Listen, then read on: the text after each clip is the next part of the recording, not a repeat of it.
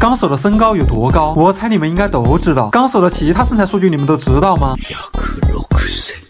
哦，打扰了。那么纲手的胸围真的是自来也所说的幺零六吗？我很好奇。在纲手和雷影掰完手腕后，可以看到四人并排站在水平线上。查询百科可的纲手身高为幺六三点一厘米，巧了啊，这个不巧。雷影身高为幺九八点二厘米，巧了，俺也一样。有软件里的现代比例可的纲手头高为二十点四六，居然是标准的八头身。八头身可是最完美、最协调的身材比例，真不愧是纲手公主，爱了爱了。雷影头高为二十六点五厘，约为七点五头身。由纲手的头高可以算出腿长为六十六点九一厘米，占到身高全长的百分分之四十一。不过当然还是比不过真正意义上的腿影，隔壁的腿影腿长就达到了九十二点三六，占身高的百分之五十六。果然还是腿影的腿最好看啊！当纲手和鸣人打赌时，由头高可以算出祖传项链接近高度为二点八零厘米，这是最完美的参考系。我们建立模型可以算出胸围宽度为三十四点七七，下胸围宽度为二十六点二三。注意这次和上期的模型有点点区别，椭圆模型需要单独算出长短慢走数据。在纲手喝酒的场景中，我们根据头高可以进一步算出胸围的正侧宽度以及上下胸围侧面宽度差。至此，我们得到了。想要的全部数据，根据正面视图和右侧视图建立俯视横切面模型，作图并标注出已有的全部数据，可以算出纲手胸围为幺二六点二七，下胸围七十九点三二，差值竟然达到了四十六点九五厘米，这个胸围差国际通用尺码表已经放不下了。当然，刚才的计算结果仅供娱乐，切勿当真，仅仅只是证明一下自来也的目测结论。如果自来也知道我们新测量的数值，它会不会特别惊喜呢？今天我们计算了高手公主的胸围和腿长，也对自来也的取材提供了新的思路。然而，你以为本期视频就结束了吗？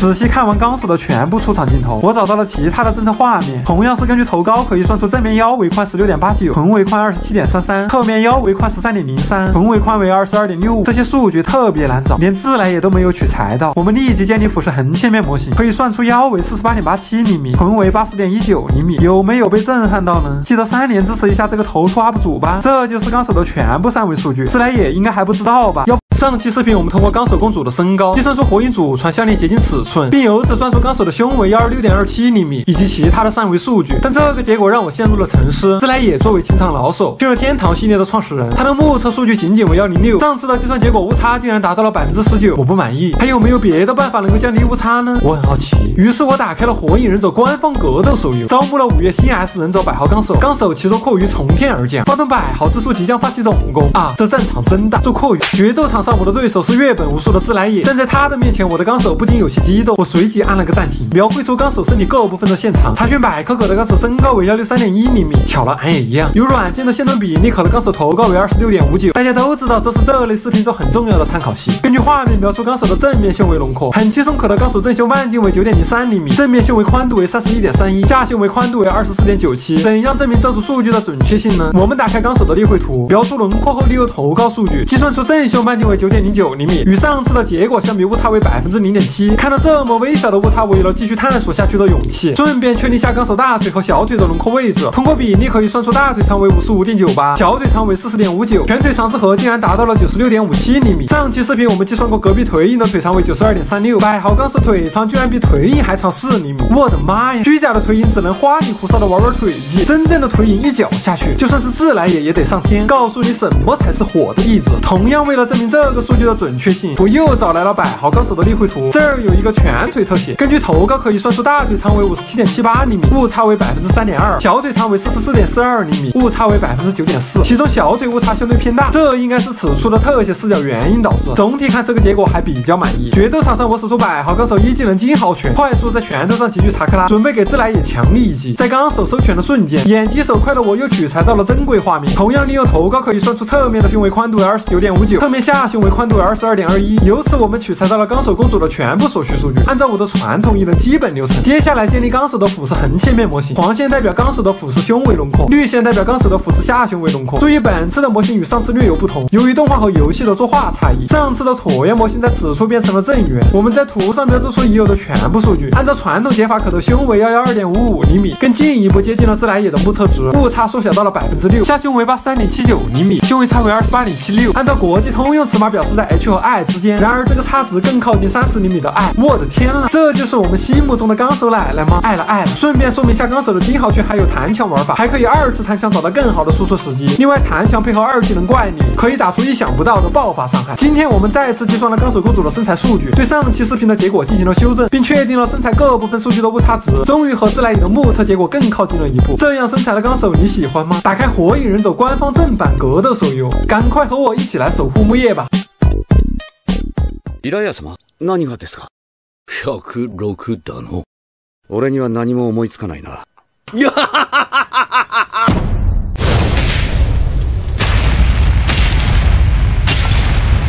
いや钢手的身材数据是多少？看过上期视频的你们肯定都知道。那么雏田的身材数据你们知道吗？我也很好奇。看完七百二十集火影剧场版和博人传，我整理了雏田疾风传、雏田忍界大战、澡堂回里的浴巾雏田、旗袍雏田、无限阅读和限定阅读中性格反转的雏田、雏田休闲装、任务装、黑色礼服、婚礼礼服和博人传中的雏田。那么问题来了，雏田到底有几套衣服？那么问题来了，仔细看这十张图片，你最喜欢哪一个雏田？把你的答案打在公屏上。想要更加准确的建立模型，首先就得要求身材轮廓清晰。雏田的日日常服、休闲服、博人传中的居家服太过宽松，误差太大；人机大战服装太紧，质地太硬，也无法计算。旗袍雏田自然十分合适，可就只有一帧素材太少。澡堂回自然也十分合适，就是。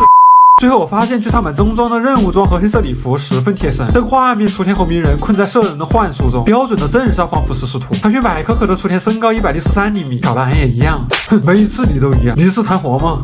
利用身高可算出头高二十六点七五厘米，标准的六头身。描述腿部轮廓后，可算出大腿长四十七点五零厘米，小腿长四十一点一六厘米，全腿长八十八点六六。上次计算隔壁腿影全腿长为九十二点三六，这就是腿影吗？知道大家都喜欢腿影的大长腿，那么雏田我就偷偷抱走了。鸣人把兽人打服之后，我们看到了雏田整齐的秀发。描述头发部分的轮廓，可以算出雏田发长为六十八点三八厘米，差不多身高的百分之四十。木叶的长发美女景野敢称第一，那么雏田应该就是第二了。话不多说，直接在雏田正面镜头按下暂停。这个画面只有。底部和侧面轮廓无法确定胸型，还好在佩恩考完米，小樱把雏田救起来之后，可以取材到此处是长短轴一比一点四的椭圆，那么这个画面轮廓就画好了。由此计算出正面胸围宽二十五点八八厘米，正面下胸围宽十九点四一厘米，以及这个椭圆的长轴长和短轴长。为了进一步减小误差，雏田黑色礼服的画面也计算一次，两组数据取平均值可得最终的数据。建立我原创的俯视横切面模型，画出曲线并标注所有数据。胸围是由下胸宽度 A、两倍弧长 L、二分之一椭圆轴长以及线段 C 构成。怎么样？是不是对应关系一目了然？一通操作后算出胸围九十七点七四厘米，下胸围七十三点九零厘米，胸围差为二十三点八四厘米，处于 F 和 G 之间，不过更偏向于 G。国际尺码为七十五 G，英式尺码为三十四 G。不过说实话，我感觉计算的结果偏大。和景野仔细对比之后，我发现区别来源于椭圆和圆周长计算方式的不同。如果是椭圆，则计算出的胸围明显更大。上次纲手的计算结果就是这样。纲手雏田不愧是你。以上的计算结果仅供参考，切勿当真。至此，我们计算了纲手、雏田、景野三位忍者的身材数据。如果你喜欢这个系列，还希望关注一下这个头秃 UP 主。啊，后续会出更多更好玩的视频。雏田的身材数据是研究出来了，不知道鸣人他知道吗？要不顶上去，让鸣人看看。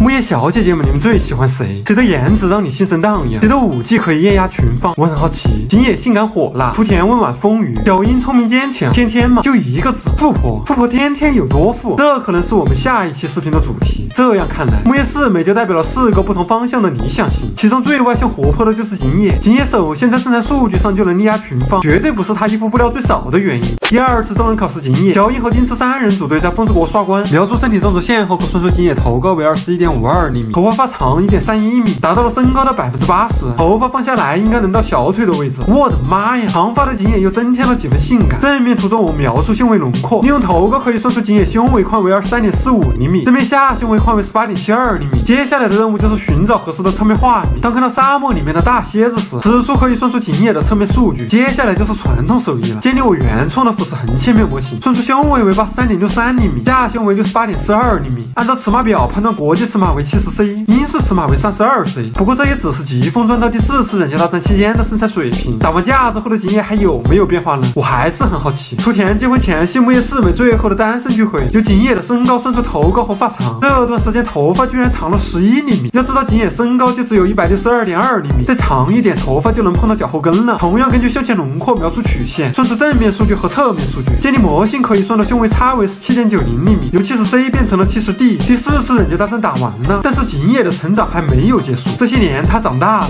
变成了一个真正能独当一面的忍者。顺便再计算一下景野的腰围，同样由刚才取材到的数据，可以算出腰围五十二点八零厘米，这就是景野的全部身材数据。有了这些，做套衣服是没问题了，但以上却只说明了景野外形好这一特点，女团更重要的是业务能力。怎样说明景野的舞蹈功底呢？我翻遍了动漫，就只能在 ED 中看到了景野跳舞的剪影，最后只能在《火影忍者》官方正版格斗手游中寻找答案。跳房最近新上线了街舞景野新角色忍者，要知道景野的舞蹈功底有多强，就得知道景野舞蹈的动作数量和动作难度。于是我将每一个忍者和普通攻击都逐帧播放，截取到景野的每一个舞蹈动作，并将动作画面一张一张的抠下来，除去差别很小、极其相似的动作，这就是景野的所有舞蹈造型，一共一百零二个动作。这些姿势连起来也能做一个新的编舞吧。上次计算斑斑出场时，所有露脸的忍者动作总共也才三百七十八个，这次的景野一个人就有一百零二个动作，有时转身侧踢，有时下腰三百六十度飞踢，有时空中三百六转体给左井就是一脚，有时空中转体七百二扔出荧光棒就给左井当头几棒，有时几个 pose 又能把左井玩弄在鼓掌之间，左井的脸上没有一丝笑意。这一次连招牌假笑都没有了吗？他太难了。同样是路遥，为什么你就可以有这么多戏？这就是景野从七十 C 到七十 D 完美展示了他的外形身材。我们根据动画计算出的全部身材数据也有了更为立体的呈现，而舞蹈动作的多数量和高难度进一步突出了景野这个角色深厚的舞蹈功底。我不仅身材好，颜值高，跳起舞来也十分华丽。不仅我自己想起舞，我还要让我的老公跟我一起起舞。木叶四美谁最美？每个人心中或许都早已有了自己的答案。今天我从身材数据、舞蹈动作数量和难度这两个方面分析了景野的外形美和动感美。你们对他有没有更喜欢一点呢？我是最上春下山，我们下期再见。